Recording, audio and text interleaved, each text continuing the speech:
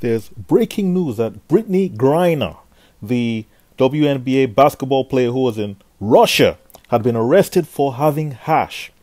She was actually sentenced to nine years in prison in Russia.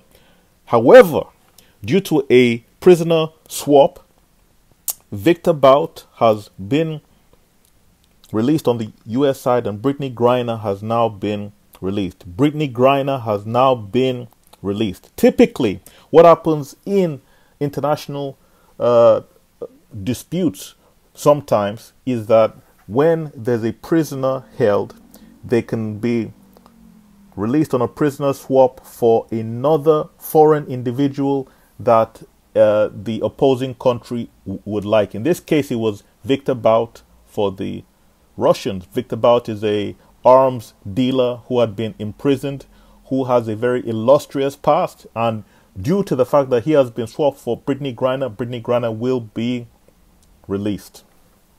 So uh, I will be uh, following the story as it develops, and I might do another video on this. To support the channel, make sure to like it, comment, and subscribe.